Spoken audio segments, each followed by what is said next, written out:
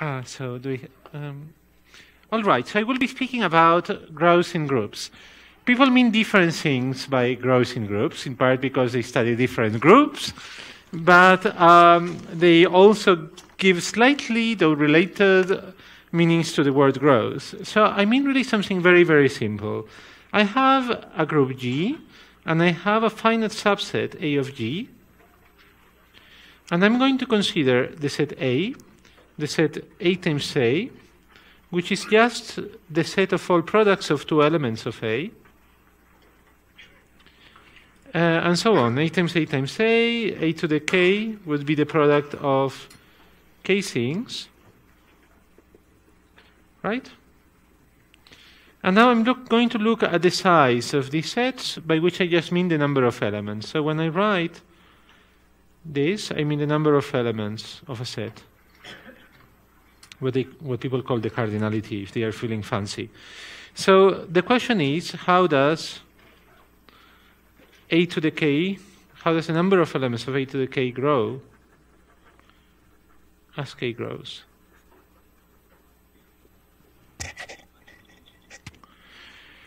Um, well, this is, this is a question that has been studied from several different perspectives. So um, there's additive combinatorics,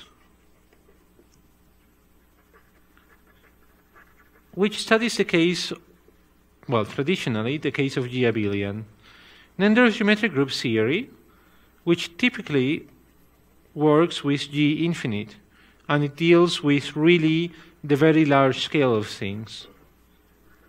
So going to k going to infinity. Of course, if we were working with um, with it doesn't make that much sense to us what happens when k goes to infinity, because if, if A generates G, A to the k eventually becomes equal to the entire group, and then, you know, it stays constant. It's G, G, G, G, G, G. That's what happens when k becomes big enough. But you can ask yourself, well, how soon does that happen? So I can define, so let's, let's say that, assume that A generates G. By brackets here, I mean the group generated by A, and that's G. Now, um, I'm going to define the diameter of G with respect to A uh, as the least K such that A to the K is G. And for G finite, this is finite. Now, why is it called a diameter? Well, I can define what's called a Cayley graph, which is the graph that has as its set of vertices just the set G. And I'm going to join two vertices in G by an edge if their quotient lies in the set of generators.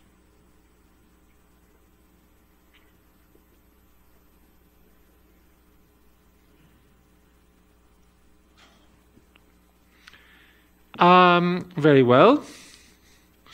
So this graph is connected. Why? So assuming A generates G, this graph is connected. Why? Can anybody explain me why? Yeah, exactly. So you can connect everything to the identity, for instance. Or you can connect any two things because the quotient is, in the, is, generate, is a product of elements of A. Now, you, well, for simplicity, we can assume from now on that A is its own inverse. That is, whenever you have an element, the inverse of the element is also A. And I will also assume, unless the contrary is stated, that the identity is in A. Now, the diameter of a graph, so first of all, the distance between two vertices is the, just as in real life, it's the length of the shortest path between the two.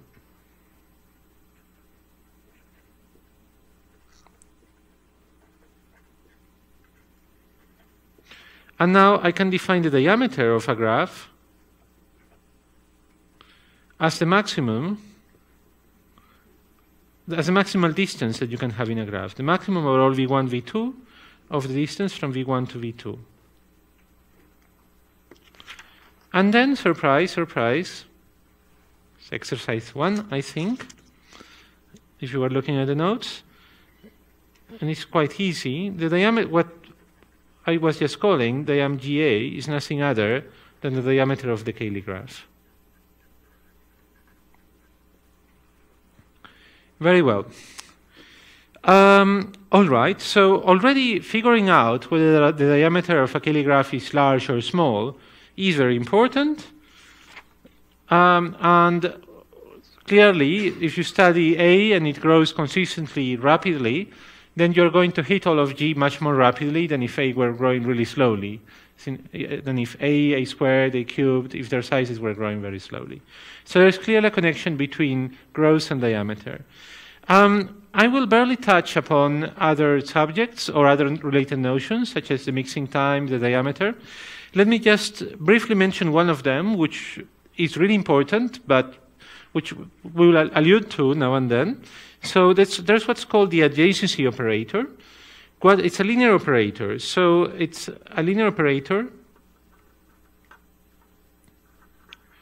on functions f from the set of vertices, which is just g, to the complex numbers. So it takes such a function to another function, and well, it's, li it's linear. So af, what af will be a function? What will it be? What will its value at v be? It's going to be the average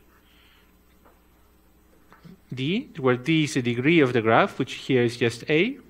It's going to, in general, the, the adjacency operator of a graph does the following. A of f, the transform function, takes here the value of, well, the average of the values of my neighbors.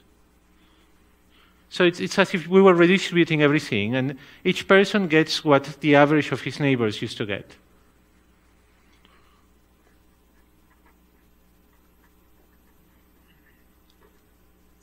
The edge set. So, of course, it is just the same as saying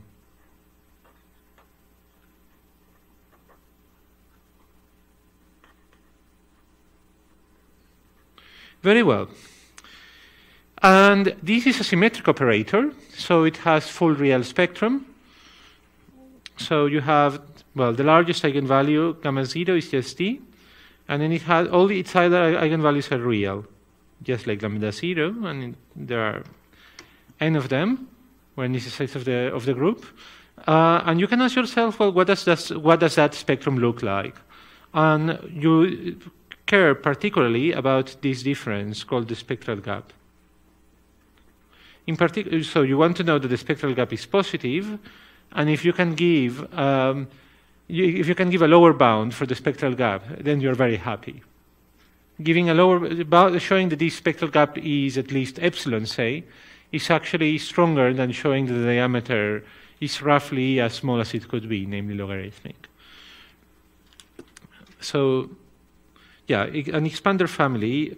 So there are different notions of expansion, but they are all connected. So expansion, we could define, we can say a graph is an epsilon expander quite simply if lambda 0 minus lambda 1.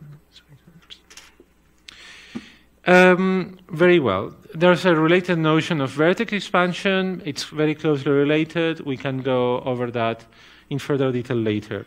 Now, let me just, now that we, I have stated more or less what the questions that we will be dealing with will be, uh, let me say that it's, we, we, have to find a good lab rat, right? Um, you know, small, white, pink tail, uh, something complex enough to be interesting, but not so big that it's going to bite us or create unnecessary complications. So the lab rat for this course will be SL2. SL2 over a finite field. Actually, the finite field is harder than the complex numbers in this, for this sort of problem, at least if you deal with it naively. Because in the finite field, you don't have the concept of distance. So the distance, topology, they are not going to help you. You have only a very weak sort of topology. It's Zariski topology, which is helpful, but it's not like the complex topology. So this will be our lab rat. Um, let me just tell you that uh, it's a pretty paradigmatic lab rat, so to speak to mix metaphors, because um, simple groups, so non-abelian simple groups, hmm, well, if they are finite, then the classification of finite simple groups, which is many people's favorite and least favorite theorem at the same time, uh, says that all these groups fall into one of three families. They are either um, groups of Lie type, meaning groups that are like Lie groups, only over finite fields, and then some of them have complicated characters, sort of, and the like. So SLN, SON, SP2N, and so on. Then you have um, the symmetric group, or rather the alternating group, which is the so this is the this is the subgroup of the symmetric group of index two. The symmetric group is just the group of all permutations of n elements.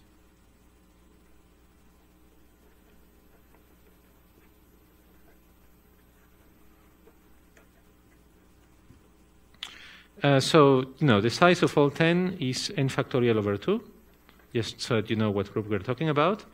And then um, you have a lot of monsters, you know, but there's only a finite number of them, and all of our statements will be asymptotic, so we don't care about them. Um, all right. So SL2 is fairly characteristic of groups of Lie type. Um, when I first started working the subject, I started with SL2, and generalizing things to higher rank was, hard, was quite hard, and it was done in part by myself and in part by other people. Um, but after that was all done, uh, all said and done, it turned out that, well, the, actually, sort of proofs that I will be giving you now are fairly easy to generalize. They are the sort of second generation proofs for SL2. So you're not missing, you will not be missing out on that much. Now, the, or the permutation groups are really very interesting, but they are really a, a different kettle of fish. Uh, they are still a kettle, but it's a different kettle of fish. So th there are some elements in common, but we will not go into them so much. Will, I want to give you an idea at the end of the open problems for them. Many of the questions are the same, but the field is quite different most of the time. The, the tools I will lecture about today do apply in, for the most part to both cases. All right. So let's stick to groups of Lie type, or, well, matrix groups, right?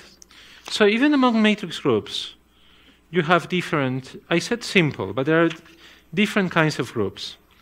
So just to get an idea, um, how many of you know what a solvable group is? Everybody. So I don't need to repeat anything, right? So you have a solvable group when you can, so, well, in general, you can decomp- you, you always can, simple groups are like the atoms of group theory. And your group is solvable if it decomposes into abelian atoms. That's fair enough. So you can always decompose this at hi plus 1. Simple.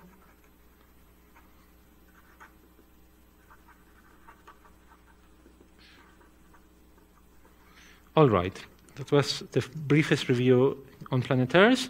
Um, and you really have very different sorts of behavior, growth-related behavior, depending on whether the group is nilpotent, um, solvable, or not solvable at all, in which case you might as well reduce it by, you know, this sequence, the Jordan-Hölder decomposition, you might reduce it to a simple non-abelian case.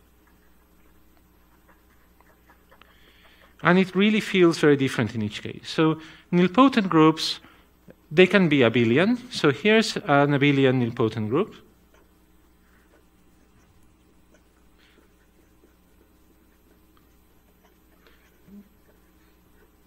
And here's a group that is not abelian. So this is so, the so-called Heisenberg group, which I am, I am told that the name now has all sorts of rich associations that it did not have 10 years ago. But never mind that. All right. Um, now, uh, in abelian groups, growth can be extremely slow, and diameters can be extremely large. Now, say that the diameter, so say that you're dealing with the group Z mod 2016Z, um, and you have the generators plus minus 1, then what is the diameter of this? What is the diameter of this group with respect to a set of generators plus minus 1? Hmm? 1013. Ah, 1008. Yes, I, I, was thinking of something else. Yes, 1008. If it were a two, yeah, well, never mind that. Uh, no, thank you. Uh, yeah, so that's really, really big. A small diameter would be logarithmic or a power of a logarithm. And the same can happen very, very easily in a nilpotent group in general.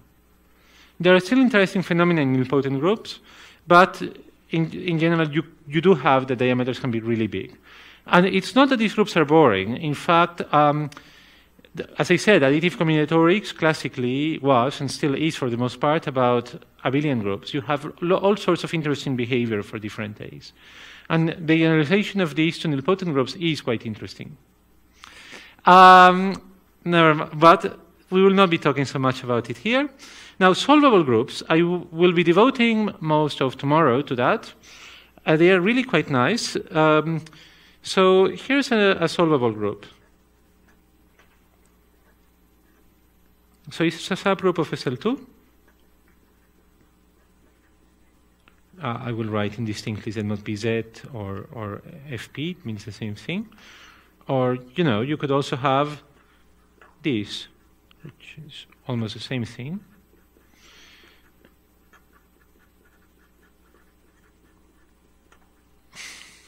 Very well. This is so-called affine group, and I rather like it. So this group, as will become clear, um, has a very close relation to something that had been considered shortly before I started working on this in additive combinatorics, namely, it has a relation to the study of FP as a field, as in both under well, addition and multiplication. So you have what's called sum product phenomena. Now, I, I would like to see sum product, so-called sum product phenomena as simply a shadow of what happens in the affine group, grows in the affine group it has a, a rather different, so except for special circumstances, sets A are forced to grow. Some, some special sets A don't, but for the most part they grow. And it's not too hard to show that. And will it, there's no algebraic geometry involved in there, at least not for this very simple case, but already some features of the proof for SL2 that we will see are already present here, including a very funny kind of induction. You don't need an ordering really to do induction. Now, in the simple non-abelian case, so here, so really, SL2 is not simple. PSL2 is simple, but come on. So um, I don't want to write modulo plus minus 1 all the time, so I will be working with SL2. So SL2 over a field, K, is A, B, C, D, and K, and the determinant is 1. All right. So really, uh, I will be focusing on, you know, this will be my first test case, and this will really be our lab mice. Um, lab mouse. Um, very well. All right, so let us get started then.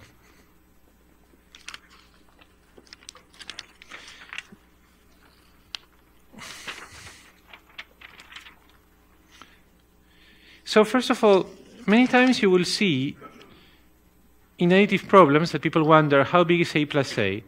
And when I state things over non-abelian groups, I like to state them in terms of A cubed.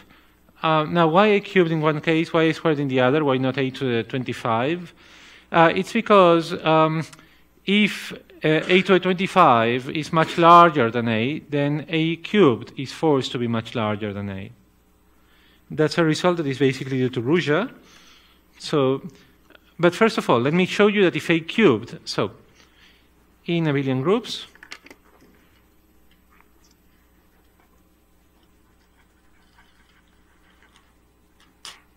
if you have, um, say that A times A is small, then A to the K is also small. It's going to be at most k to the little of little k, where big k can be a constant or it can be something quite big, like a power of a, a to the one third or what have you. Now, for uh, for G non-abelian, we can have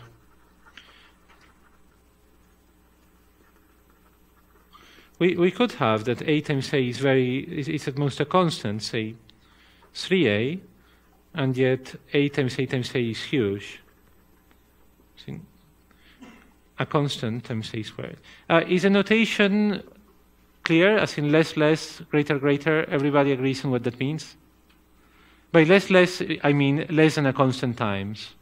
I don't mean much, much less than. Uh, I mean, all right, it's good that you laugh because it means we all agree. But I think there are people in odd corners of math that, for, whom, for whom it really means little o of. For us, it means big O, big o of. Everybody's happy with this notation and with little o and big O. No cultural problems. Good. Um, all right. So lemma. However, uh, we are going to have that uh, a to the k, so at least for when a equals a inverse, you have that a to the k over a is at most a cubed over a. So if a cubed over a is small, then already uh, it's that's enough to show that a to the k is small.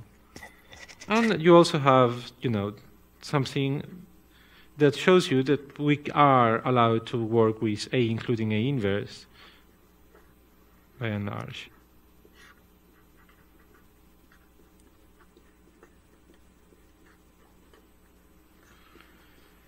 Very well. This is you, you can prove this, and this is exercise three. You can prove this using the Ruzsa triangle inequality.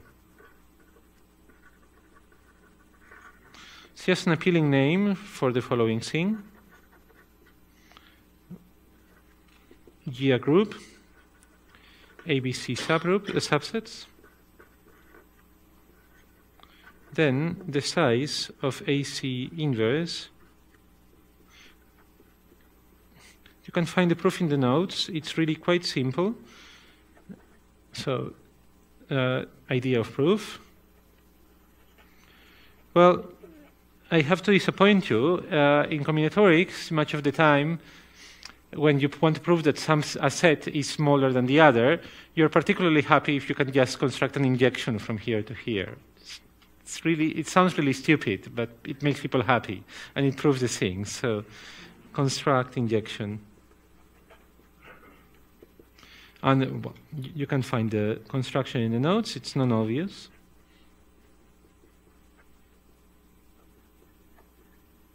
Yeah. Very well. And well, actually, the, the constructing the injection is the clever part. Using that, you can actually prove quite easily the, the, what they have stated on the top.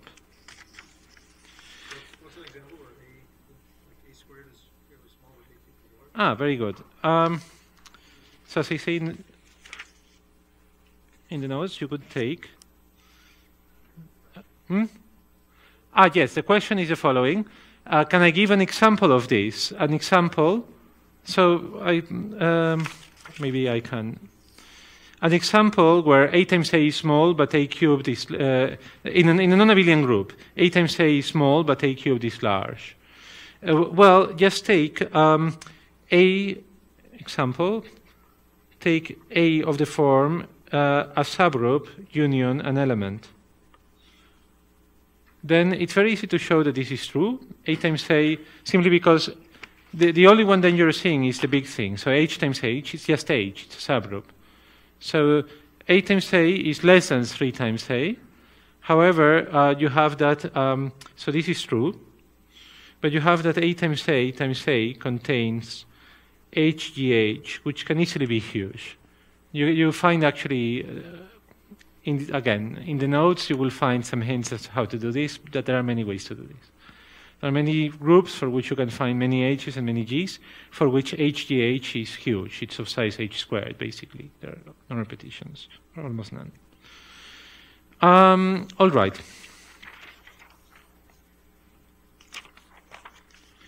Uh, perhaps I should number these things. Um, so this is probably three and four. Very well. Now, you will hear of people talking about approximate subgroups. Um, approximate subgroups mean something pretty close to sets that grow slowly. So, um, do I even need to state what they are? Well, no, not really. Let me just state the keyword. So, approximate subgroups.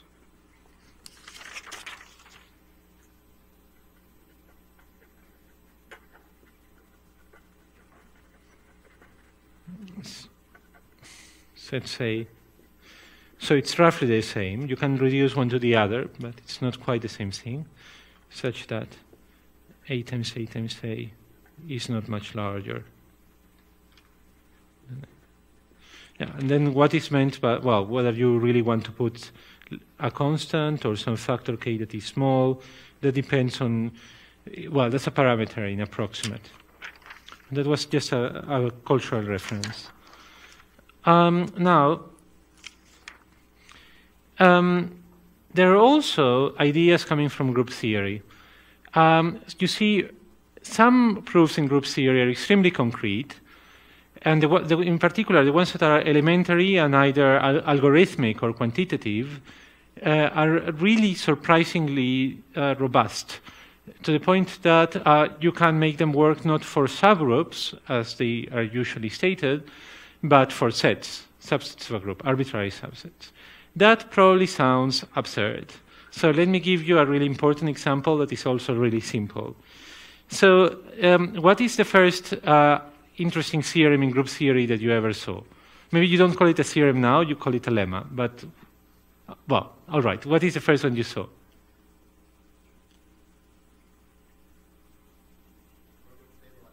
Thank you, you cheated. He's not a plant. I don't even know him, but.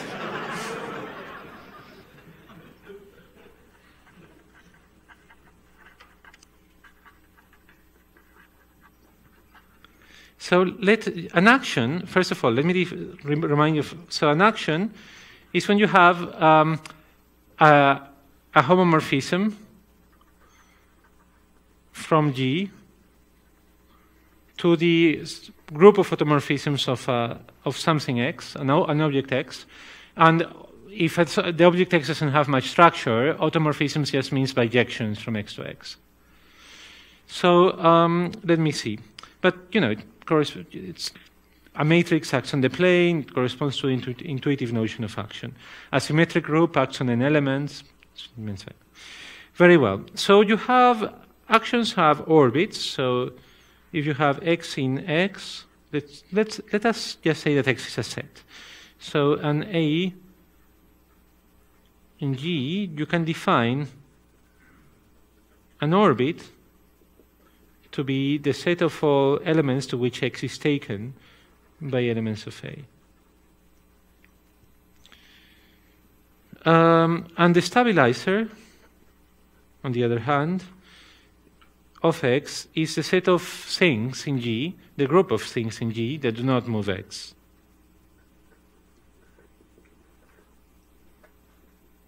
It's a left action. Very well. So what does the orbit stabilizer theorem say? It's really just a lemma, but... Uh, so let G act on X. Set. Um, and you have x in x, and the classic statement is with H a subgroup of G. And then you have that um, you have that the um, size of the intersection, so the intersection of the group H with the stabilizer is going to be equal to the size of the subgroup divided by the size of the orbit. And the proof is very simple. It's just basically by pigeonhole and counting. And you can even just look at this and convince yourself that, you know, this is, uh, this is some sort of moral law of the universe. I mean, it's, it's really very intuitive once you, once you grok it. I mean, if, there are, if many elements of your group are fixing something, then its orbit under it will be really small and vice versa. Now, the astonishing, you know, if your orbit is really large, then your stabilizer has to be very small, and if your orbit is really small, then many, many of your elements must be fixing. And that's all very fine. But what happens if I try to generalize this to the case where that is going to be called A, and it's an arbitrary subset of G? Then this is no longer true, but it's almost true. I'm going to split it in two. It's going to be two. I could write this equality twice, right?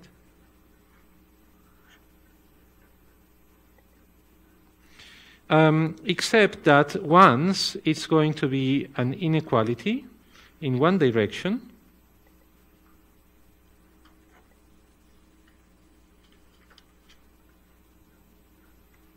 right, say a squared, and the other time it's going to be an inequality in the opposite direction. So.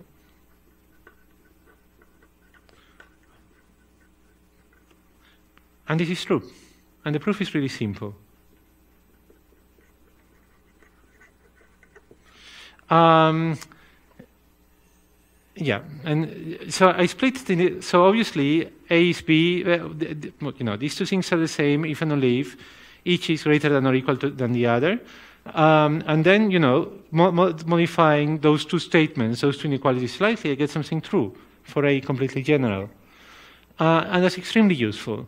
And notice that when A is actually a subgroup, this, uh, notice that orbit stabilizer, the, the, classic orbit stabilizer theorem, is a special case of this, because when A is a subgroup, A times A and A inverse times A both equal A. All right, now that we have this statement, let us use this. So let us start considering actions of the group G, of a group G on itself.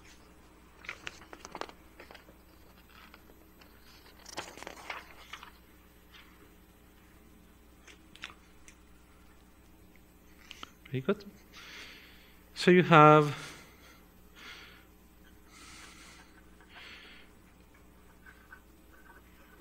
you have first of all two highly boring actions. So you could let G act on G by left multiplication or right multiplication.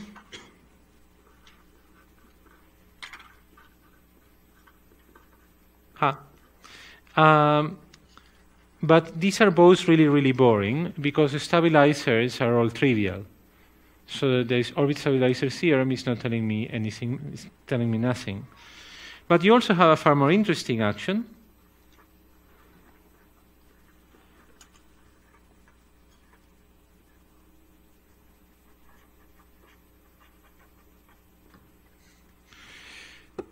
Very well.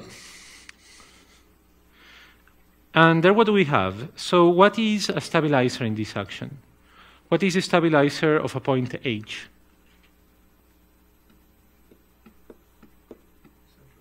Exactly.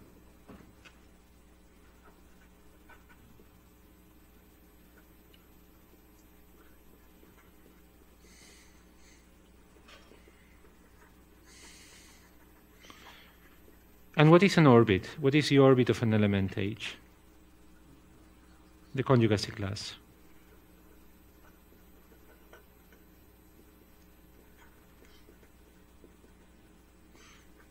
And you know, groups have really interesting centralized. I mean, there, there are really interesting centralizers inside groups and conjugacy classes and so on. So, in particular, this is telling us that have a corollary so you have G, you have A a subset of G. Then for every G in A to the L, where L is something, some integer, you will have that the here the intersection with the stabilizer is going to be at least as large as A divided by the orbit. And the orbit is contained in a L plus 2 intersection conjugacy class. Um, yes, this, I should add the condition A equals A inverse, but it's not really necessary. Um, very well.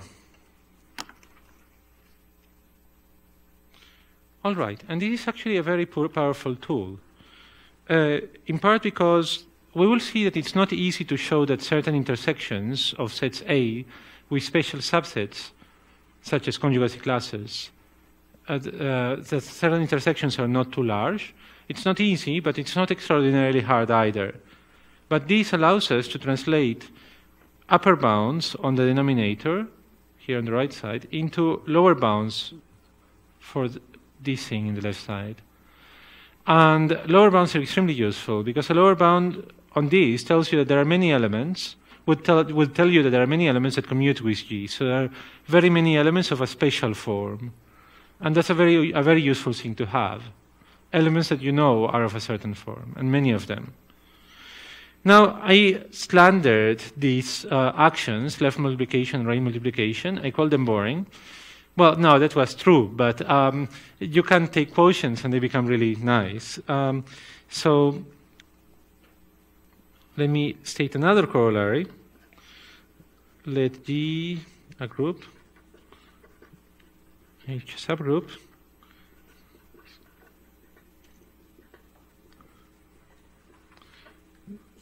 then a to the k plus 1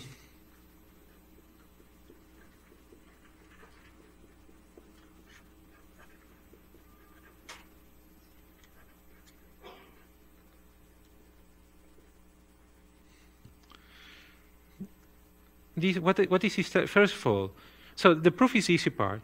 The proof says that you, well, you just consider the action of G on G mod H by left multiplication. And you apply the orbit stabilizer theorem. So both of these proofs are by orbit stabilizer.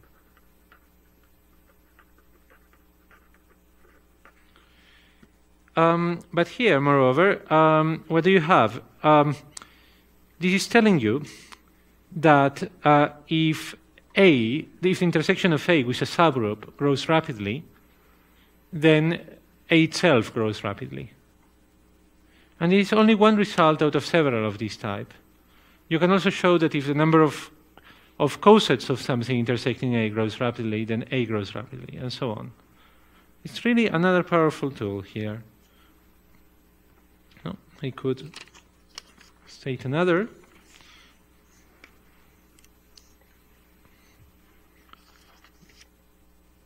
Another corollary, and this is the proof is completely on you. Um, so G, H, G, you have that the intersection, but it's really, really just pigeonhole. The intersection of A inverse A with subgroup H has to be large. It has to be at least A divided by R, where R is the number of cosets of H intersecting.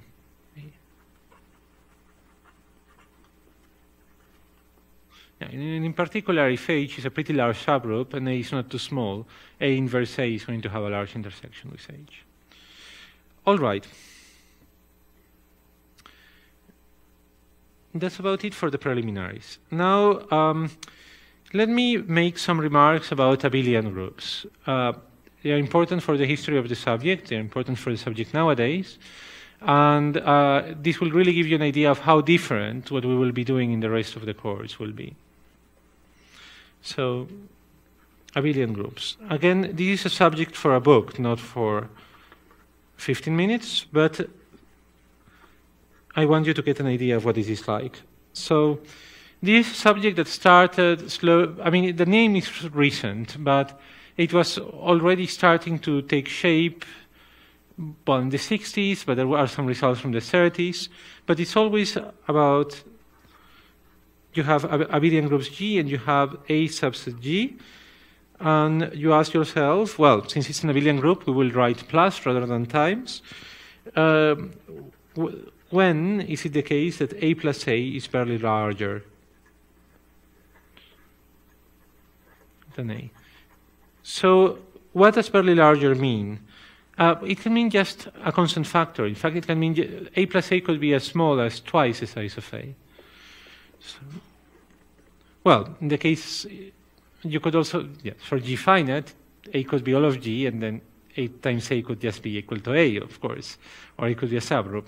But even if G is Z, which is a classical case,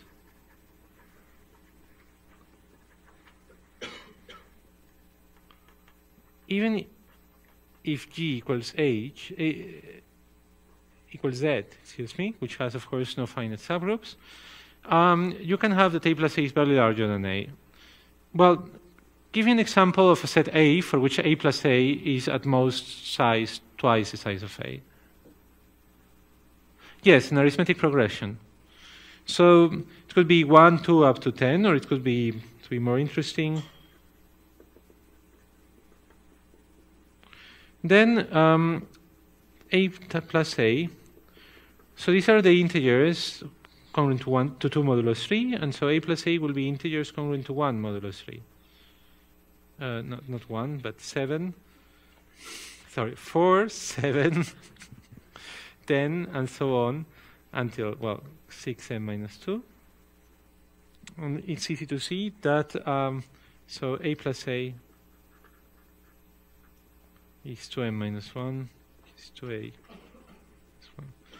So uh, you can try to generalize this. So you could have, if an arithmetic progression is like a line, you could have a sort of generalized progression that would be um, like a square. So two different moduli. You sometimes you, you can add as many threes and elevens as you wish, and you still have that grossly small. Grossly by a factor of at most four in that case. Uh, amazingly, that's basically the only example there is. I mean, you know, allowing plenty of fudge, that's basically the only example there is.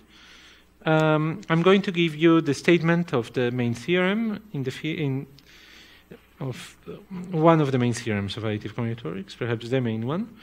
Um, so let me define things in a very modern way. Um, be a group. So a centered convex progression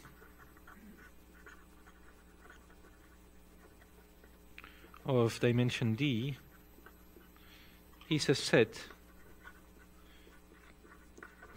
P and G which is an intersection of a subset Q of RD that is convex and symmetric that is symmetric around the origin and uh, you also have a homomorphism from Z to D to G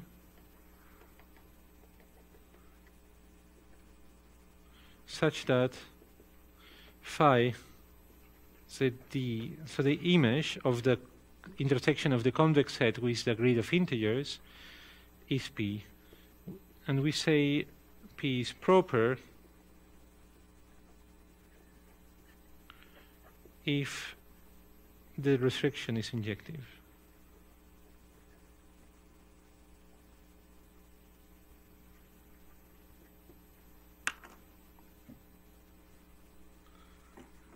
All right, and now let me state what's called Fry, the Freiman theorem, or rather the Freiman-Ruzsa theorem. That's probably the first name. The proof got much simplified by Ruzsa, who also generalizes the theorem to arbitrary abelian G.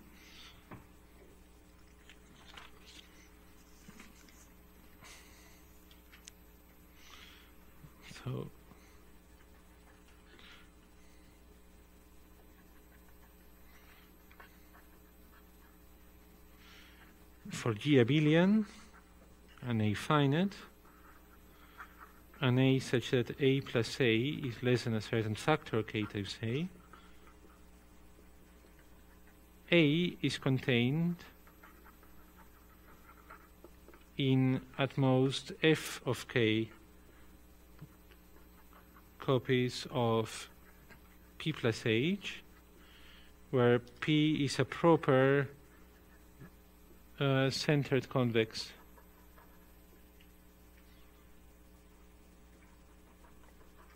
progression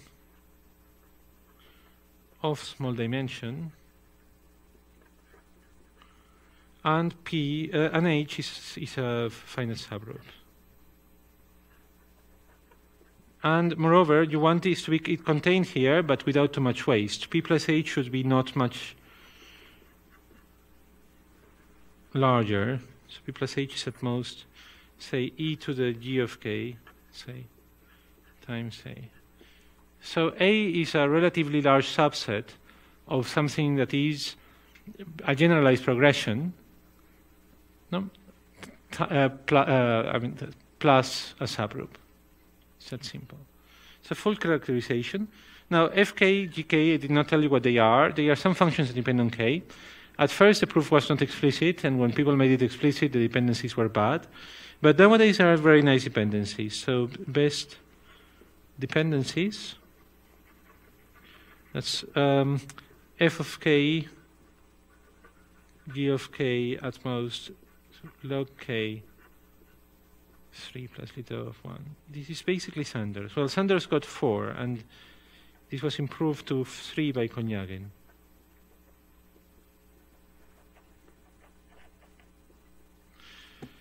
Um, it's believed that, in fact, you can the theorem should be true with f and g bounded by a constant times log k, but that's unknown. Well, this is almost as good in practice. Um, all right. So this is a situation for abelian groups. There can be groups, there can be sets that grow extremely slowly, as by a constant factor at each step. However, they can be really nicely characterized. What about sets that grow in a fairly relaxed fashion? We used not to know anything about them, but now some of them are actually covered by the by Freiman-Ruzsa with strong bounds. No? And then there's still some unknown zone. But the point is that you can have the entire range of behaviors. So you can have sets that grow really slowly, more rapidly, more rapidly. So all sorts of sets, all sorts of gross behavior, essentially, at least in one given step. And whether things can wobble, that's a different subject. Um, very well. And this is also the case pretty much for nilpotent groups. So Freiman-Ruzsa has by, by, now been generalized to nilpotent groups um, in part by somebody in the audience. Um, at any rate, um,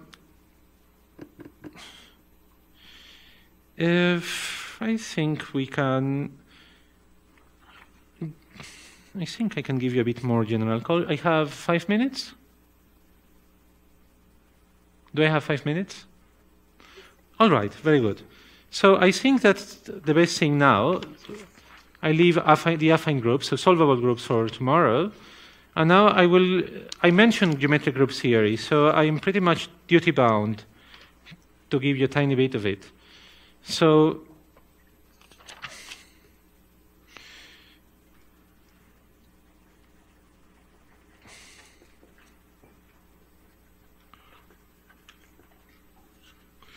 um, for G abelian,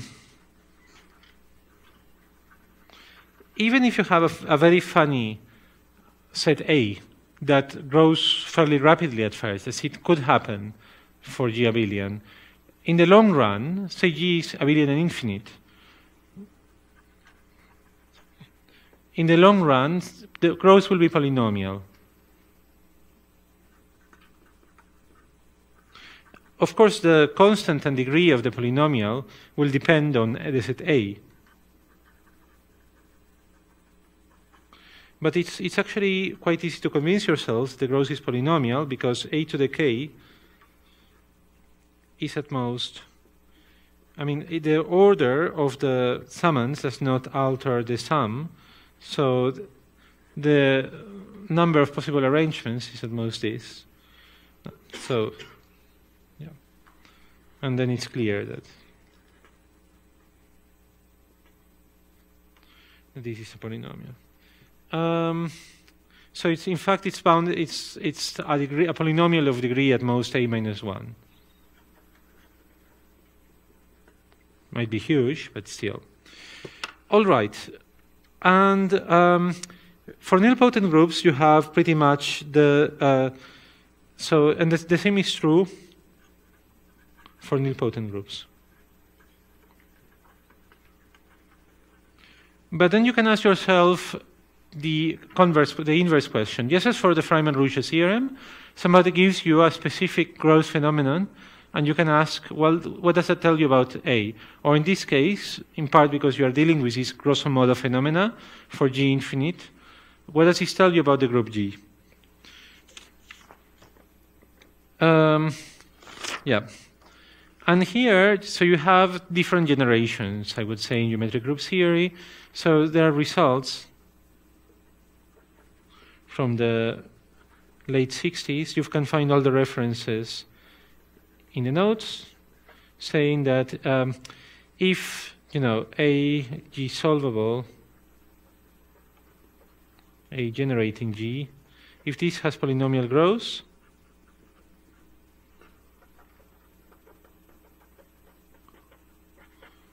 then G has a nilpotent subgroup. So things really reduce to the nilpotent case, a nilpotent subgroup of finite index.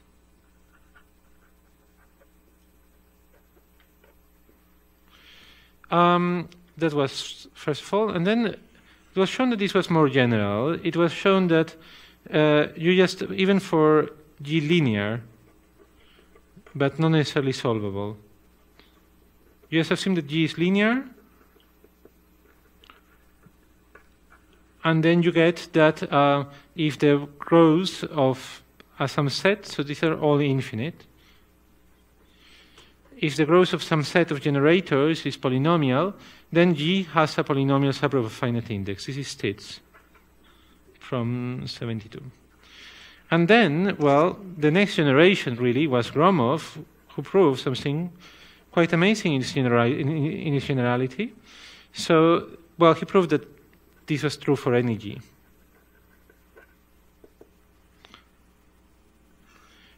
In general, for energy, if you have polynomial growth, your growth is your group is basically nilpotent. And that was pretty amazing. I think it, it, was a big jump from here to here with all due respect to the really foundational work of, of these guys. Um, because what Gromov was doing was uh, starting from an arbitrary group without any geometry. Any linear group has a certain geometry, even if it's over a finite field. But with, from an arbitrary abstract group, abstract infinite group, Gromov managed to construct a geometry, a large-scale geometry, using the fact that the growth is polynomial. And that's amazing, and that really gives geometric group, modern geometric group theory its flavor. We will not go down that route, but you should know that it exists. No? And as to whether there's a link between what we will be doing and geometric group theory, there have been some links established, especially by logicians such as Hrushovski, well, mostly Hrushovski. But um, I, there are some works derived from Hrushovski by Breuillard Green-Tao, but I feel I really feel that clarifying the links between growth in this sense, or the study of growth in this sense, and the study of growth as we will undertake it, is a very open-ended task that should be explored further. And here I think I can leave the field open for questions.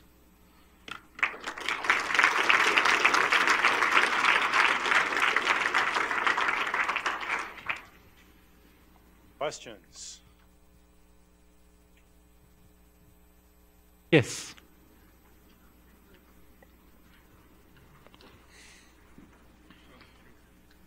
Uh, I was going to ask. So it seems like you're suggesting that the generalization of abelian is nilpotent. Hmm? Um, it seems like you're suggesting that. In, uh, it's nilpotent things behave like abelian. Uh, it's not just abelian; it's a special case of nilpotent, but very grosso modo, nilpotent things behave sort of like abelian. Yeah. So why not solvable? It seems like solvable would have been, would have been a natural guess. For... Um, we will look at it. You will get your answer next class. It's, it really has a different flavor from classical additive combinatorics.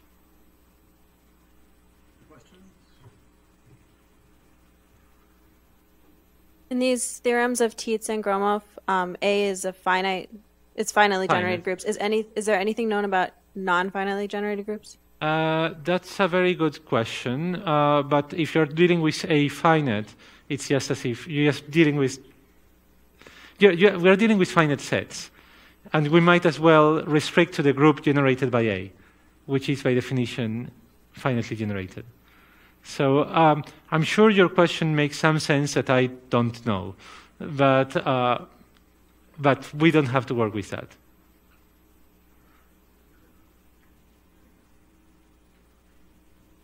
So just to comment on that last slide, for um, maybe for people who don't haven't experienced geometric group theory, polynomial growth actually has two meanings, which is there's the strong meaning, which means that you can bound the growth above and below by a polynomial of the same Ah, degree, right, say. all right. And there's a weaker meaning, which is just that you can bound it above by some polynomial function Okay. without any kind of tightness on the bounds. And it's one thing, given a nilpotent group, to show that the growth is um, polynomial in the strong sense. So that you can do. So what's kind of remarkable about Gromov's result is it allows you for an arbitrary group to upgrade polynomial growth in the weak sense, just giving an upper bound um, by a polynomial for the growth, to polynomial growth in the strong sense. That is, That's one of many grows- remarkable things. Yes. Yeah, actually polynomially on the nose. Yeah. So, uh, and to give some, some, thank you very much, and uh, to try to give a sense to the question about finite generation. I mean, one can instead of dealing just with finite sets and their sizes, one can deal with um, sets and their measures. But then actually a lack of finite generation is not a big deal. I mean, we would really be going off a tangent, but the methods we will do do apply to more generally to uh, sets. I mean, people have generalized them, namely uh, Bourgain and Gamburd have generalized them to some compact groups where you have things are not finally generated and you're dealing with measures, not just with. But you, you basically reduce to this, to this case. Other questions?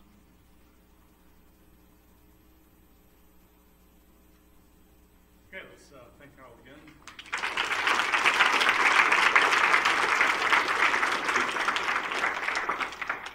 Uh, and let's reconvene in uh, 20 minutes.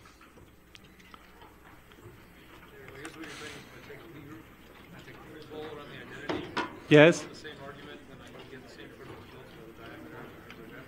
Yes, um, in, in both in all directions. Uh, in all directions. I mean, uh, did you get different things for yes?